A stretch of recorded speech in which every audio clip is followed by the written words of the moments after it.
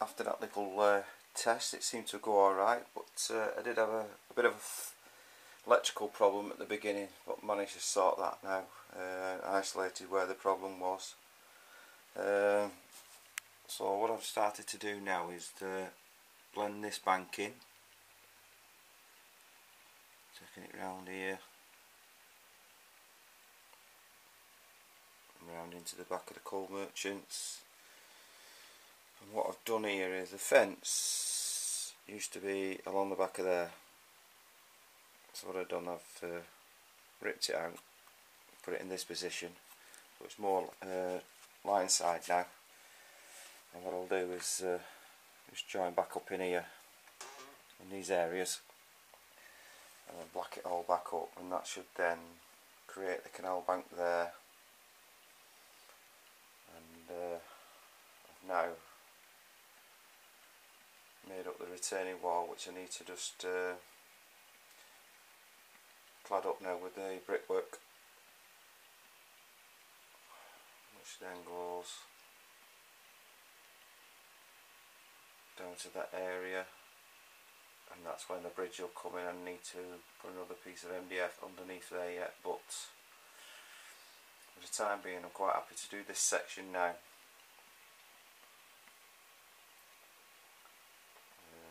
finishing that corner off there. Now just under the uh, top of the viaduct track, I'll just uh, duck down, bear with me. You have to excuse me, it's a little dark under here. Where that retaining wall is now, and then there's a, a track runs along the top, two tracks there. What I've started to do now is fill it in with cardboard there. And that will go, oops, sorry about that that will then go to the end of that board there where the two carriages are. And that's the start of me uh, road. That takes me up and then up over the top into that corner there. And the actual stonework there will be carried on. Just let me move that out of the way. So the stonework which is there now clad this road. And that is an imaginary uh, stone quarry with the road going up to it. Uh, so that's my next venture there. And when I get down to that bottom end I'm thinking of putting uh, some sort of mining. But I'll see how I go with this section here because what it is is when the viaduct comes round which is in that direction it comes round on stilts obviously and when it gets through here I've had to screw it to the back of the wall. Well it wouldn't look right with buildings underneath so I'm making it look like it's sat on the rock. And then what I'll do is I'll put pillars down at this section here and there at the front it should look okay. I do apologise, I know it's dark under there, I'll try and sort some lighting out for when I uh, get more progress done. So when I get a little bit further on I'll uh, do another little video. Hello and welcome back to the railway channel. This is uh, Crawford Street Junction. Um, I've been working on now the stonework as you can see there.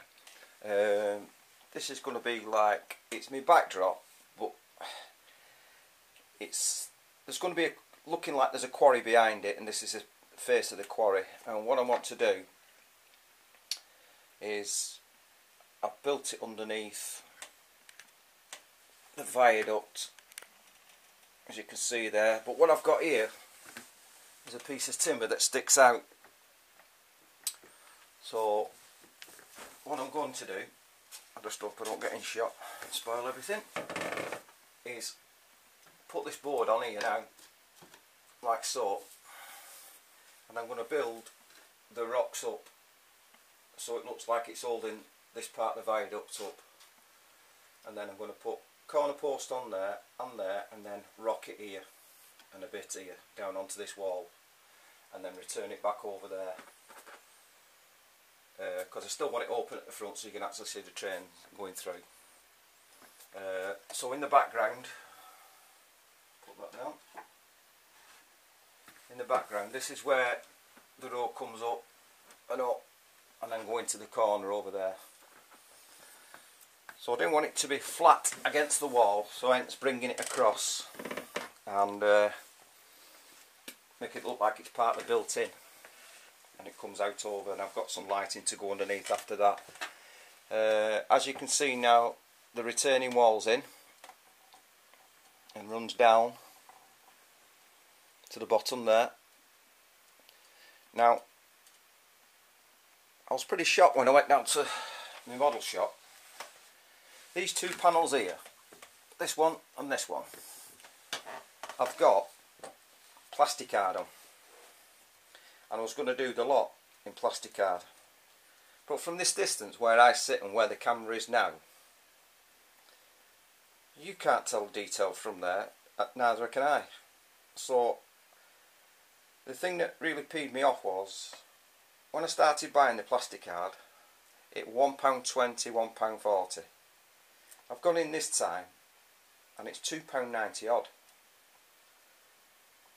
but it'd take about seven sheets to do that lot. I bought them, but I'm thinking I need to use that on something that's closer and more detailed. So I'm just going to go with the grey and I'm going to colour it up to the brickwork. You know how I do it now and it's quite industrial. And then what I've used then is my coffee sticks cut out and then made the pattern for the wall. That'll get painted grey now put my copings on top uh, and then I'll get my uh, hanging basket material get it all.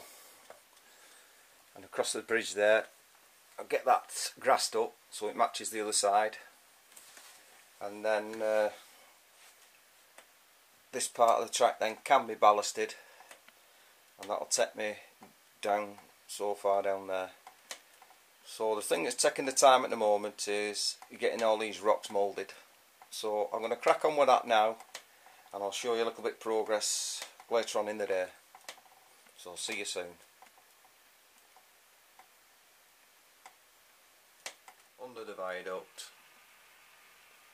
to there.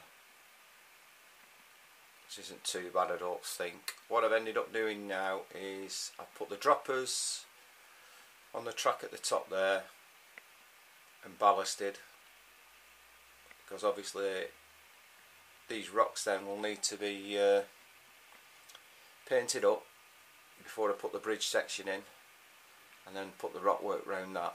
So the next thing to do will be when that's dried is to uh, test this section of track to make sure the locos run over it and there's no problems, no derailments, anything like that. And then moving down that's obviously weathered now the wall uh, I've only got that far because I've run out of super glue to put the uh, coffee stirrers on. So next thing then the lower level has been uh, ballasted. And as we come to the canal tunnel mouth that is now been landscaped up. And if you just let me change the position I'll show you what it looks like from a bit lower. So that's what it looks like from down below now. Ballasted up to this corner. Uh, got some of my landscaping around the coal merchants. Just got to put that little bit of a fence in there and at the top. Uh, I'm looking down the track now. That's the view you'll get with the rocks in the background and the tunnel mouth. There's a sweet round